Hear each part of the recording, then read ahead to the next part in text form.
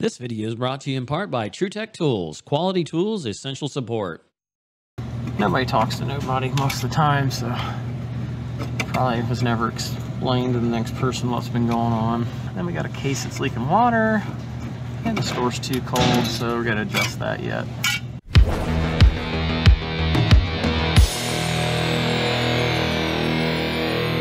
Alright guys, so we've got us a little cooler here that's got two condensers and two evaporators.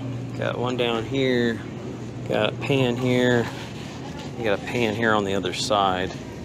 What's going on is it's not regulating temperature very well. And we're trying to figure out, is it a refrigeration issue? See, you've got one unit there, it's not running, which I hit the high pressure switch to see if it would shut it off.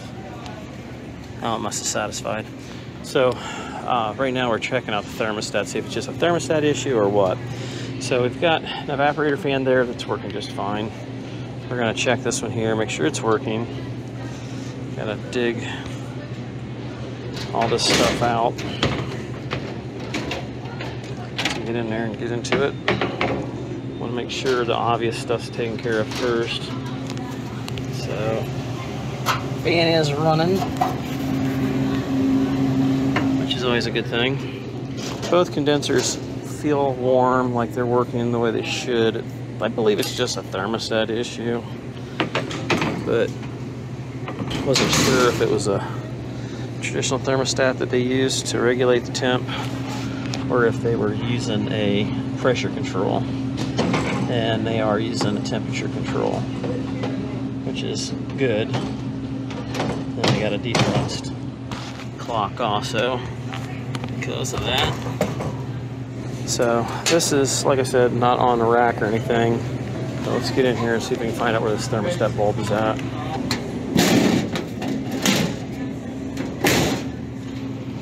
Ooh, there's TXV. So the thermostat is in the discharge line, which is fine if you compensate for it. But unfortunately, they've got it set for 40 degrees here. That's not going to cut it. Um, I doubt it's just been dinked with. I'd rather see it in the return path, so we're going to move that, but I think what we're going to do is go ahead and replace it either way because it should always be the same problem. It should never hit temperature. And so you've got thermostats controlling the contactor, which then controls the other stuff. That looks like an awful lightweight wire there. That's kind of scary. There's no way that's feeding all that stuff. So you got power coming in here.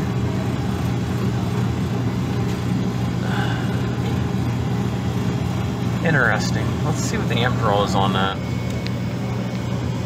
8.5, 8.9. we got up here on this? 8.3. So surprisingly, that seems a little, little off. Got 11 there, so they're not completely 8.7 there. Yeah, that's some haphazard looking wiring, I'll tell you that. This all is kind of scary the way they did it. 10 amps there. I looped it from here to there. Of do the same thing on the black. Not sure how they're breaking that. It don't make sense.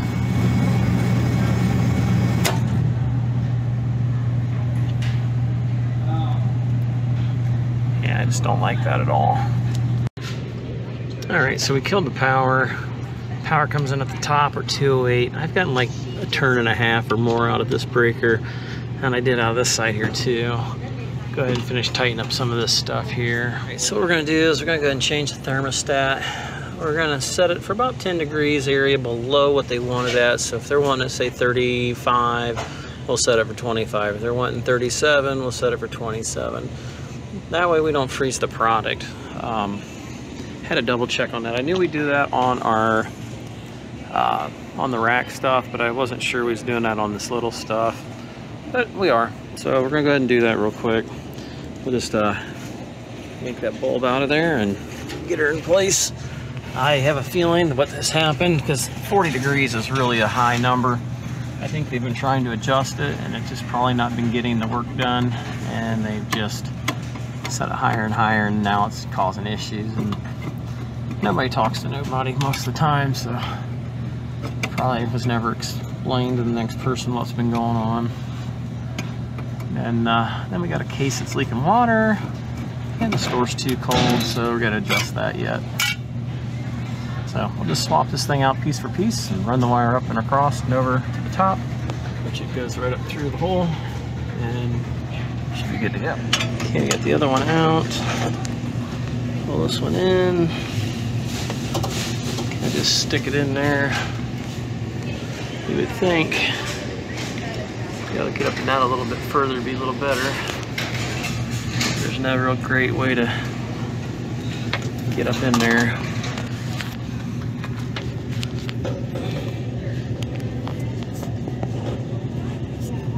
Right there's the evaporator coil.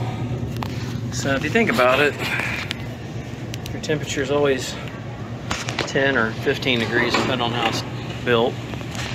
You should have the temperature coming in to the coil would have to be lower as well. But if this is laying up against one of these, that would really throw it off. So yeah, it'd be great if we could get a little further up in there. That would work probably a little bit better, but that's where it's gonna go. I'll see if I can get a little higher, but I don't think I can. All right, so he's able to pull this back, get that wire or the uh, bulb up into there. That way it's not right beside the uh, coil. And uh, that should help get a more even temperature. The brown stuff you're seeing sesame seeds. Um, some of it's breads here. It's not mouse droppings or anything like that. It's just, uh, like I said, from the bread. Hopefully it work a little bit better. I'll get this back in there, seal this back up. Some old uh, silicone.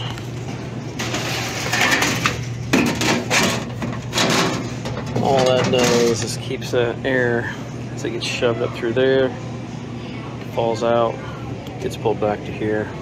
We've got her mounted up, which I see I made a mistake here. Let me fix that real quick. All right, so let's get this set up about right, which I think we are 10, 15-ish. There we go. And flip this on. And let's turn that up so that don't click. Let's see where we're... Seems like it's clicking on and off. About 55. Which might ain't off too much. Turn it down, turn it on. Did chop that wire off and restripped it underneath there.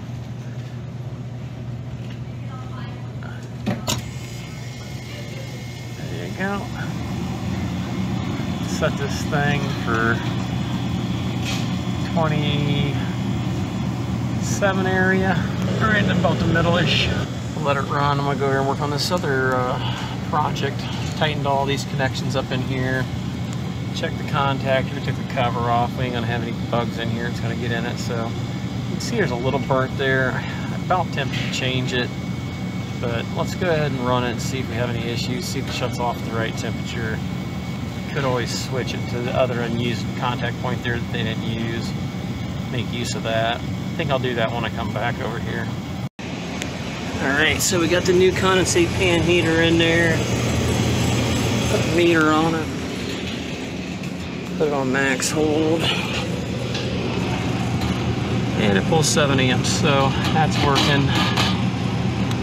Let's go ahead and let this thing run. We'll get it back together. And then uh, come back and check it after we get some of this other stuff done. What we got now is this one side gets about 5 degrees colder than the other. Check refrigerant pressures, which hard as heck to get into that. But we got into it with the probe instead of the gauges. These hoses I've had nothing but problems with. And so we're adjusting the TXV. We were almost 16 degrees superheat on it.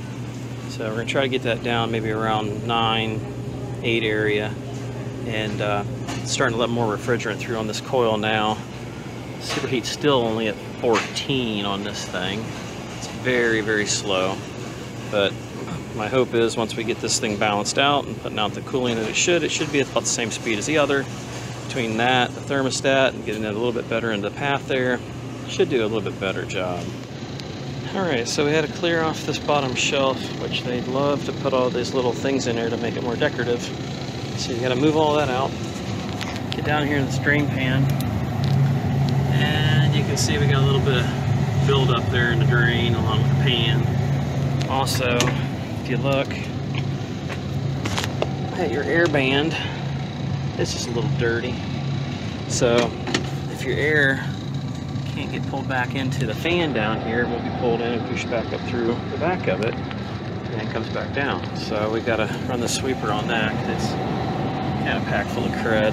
There's a pump in here somewhere. Usually it's right there in that little spot right here. So see if we can dig into that. There's a screw in there. Take the screw out. All this out. And there's your little pump. So, little pump doesn't get the water, it's not going to pump it up to the top. So it pumps the water up to the top into a little heater pan up here, which is right here. And it just boils it away there with those big old 1500 watt elements. Everything's just a little bit um, tired just a little bit. All right, got the old shop vac, got the old filter pulled out. Uh, as you can see, there's not really that much water in that pump. So it appears most of it's right there. So I'm gonna put the vacuum cleaner on that drain hole right there that's all nasty and funky dunkied. See if we can pull that right through. See what we get here. Oh, forgot to put a battery in it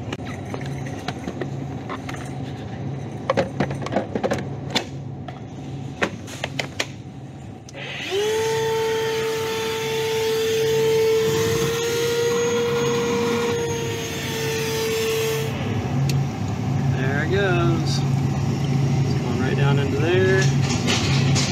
See whether it kicks on. If it does, great. Then we'll sweep the rest of that crud out of there here in a second. Yeah, that's nice stuff right there.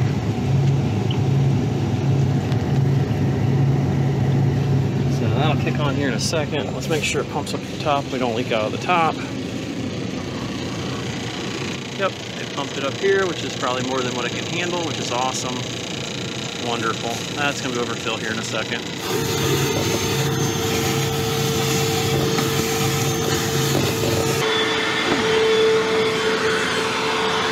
Alright, so he's able to pull some of that out. Made a little bit of a mess. Should have known that was going to happen. We'll check that cycle aspect here, see how that's doing. I'm sure it's probably flashing, but see if this water's getting warm. Heater element don't feel, yeah, it's hot. Okay. So we know that's working. That's good. Take this out and dump the water out. Can you believe I actually wanted to do this? Alright, so we get this last bit of gunk out of here. There's big old chunks I got all out.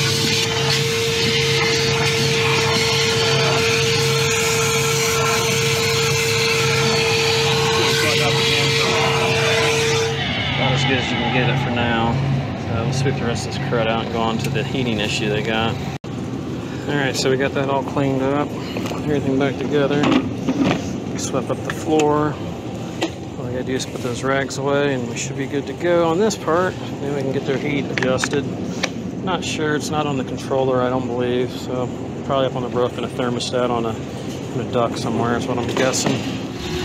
All right, so we've got stat here with a remote sensor. And that, it's a duct heater.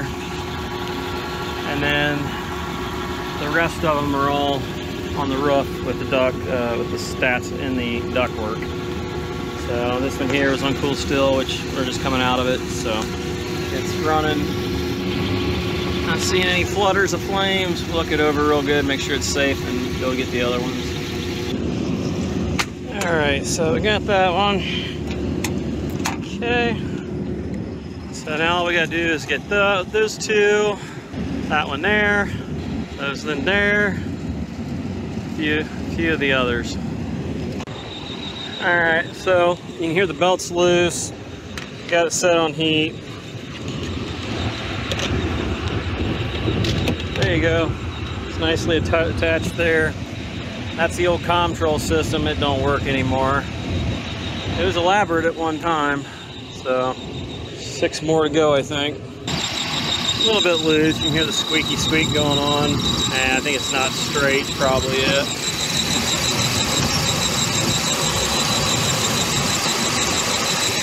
Yeah. Oh well, we'll tighten her up just a touch. All right. Just don't feel too bad there. Didn't get crazy and over tighten it. See if we get a squawk. Come on, let's go. Got shit to do. Been here all damn day. That's kind of funky like a monkey. Why is the fan not coming on immediately? Fan shouldn't have ran non-stop. Gotta check the fan, make sure it's on fan all the time. Can't remember. I think I think Carrier does shut off the fan when it goes into heat mode. We don't really do much of any preventative maintenance, so they just call when things break. Come on, let's go. Come on, come on. Sounds a little less squeaky. All right. This one was loose as a goose. Swapped out one used belt for another used belt. So that'll be better. I did a video on this one once before. So you can see the suction line there. Little ice on it. Wait till you see the evaporator. She's a leaker. I've completely gone through this and cleaned it. You can see through there pretty good. So we're gonna have to melt this baby down. Check this out. So you take a look at it, she's a little rough. I'll go ahead and just turn that off. Look at this baby. I can't even get my phone back behind here. So we got a, a little birthing pain here, to say the least.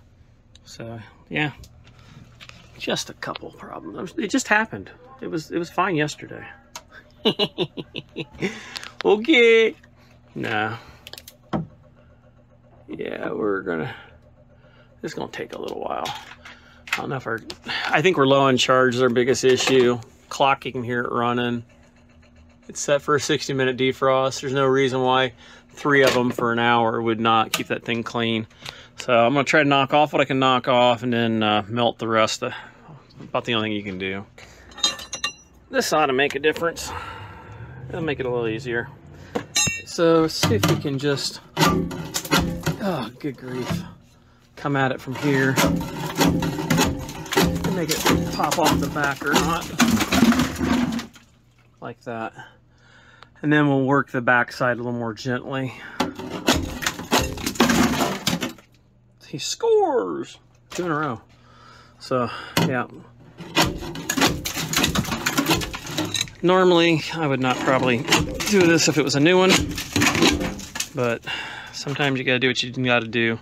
And he's worried about a few of his things getting spoiled. So, we'll get her, get her. All right, just got that little piece there left to go. And then we'll probably have to do the rest with water. You don't want to get rough like that on the coils. Yeah, she's looking rough. Yeah, I'd say that's a little plugged up. Just a little. That may not have helped it a lot. Could just been storing the water in the bottom of the pan, but uh, we'll know here once we get her clean. Well, we're making progress. Got the backside completely. Yeah, never mind that. Got it cleaned up. It was pretty bad on the back. Got a lot of gunk out as you can see. yeah, he said go ahead and get the floor wet. They'll clean it up. So sounds good to me. Uh, got the fan blades out and got to finish getting that rest of that gunk out. I think I switched that to 134A a while back. It was a year ago, maybe. I forget. It's got a leak. Um, as you can tell, it's just um, it's not getting replaced. So we're going to go ahead and get that melted out of there. Got the handy dandy sprayer here.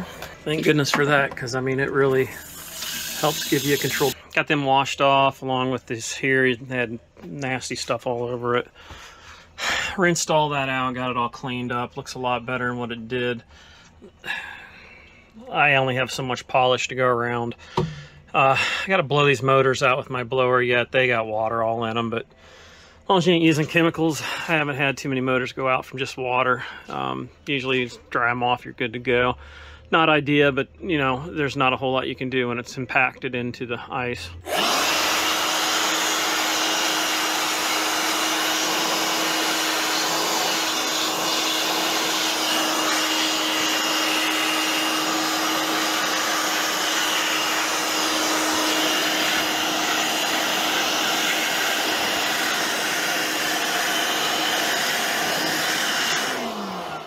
Did check, make sure the thermostat looks like it's about ready to go on a vacation, uh, that it's uh, set on 35 area.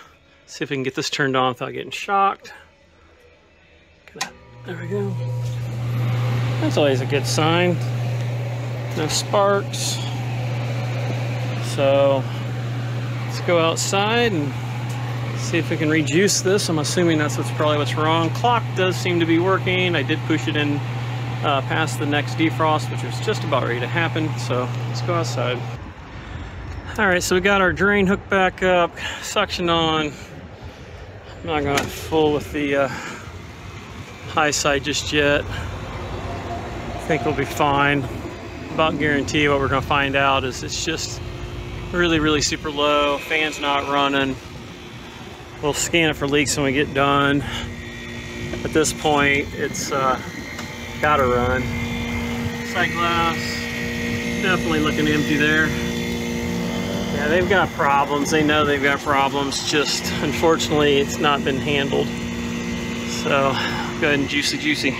Juice the goose. So we scanned everything up here, nothing in any of the controls. It's so windy out here. I mean, it's ridiculous. You can see the water driplet coming across. I mean, it's it's it's just there's no way you're gonna pick anything up out here. I got nothing on the inside, so once again it went low like it did a year ago or so, about a pound and a half to almost two. So it's uh it's beyond needing replaced, but at this point I can't find it. It's way way too windy out here. Uh, it's got a lot of flare fittings on it. It could very easily be on one of those. It could be on one of the controls, but I'm not picking anything up. So it's back up and running. I'm going to head on to the next one.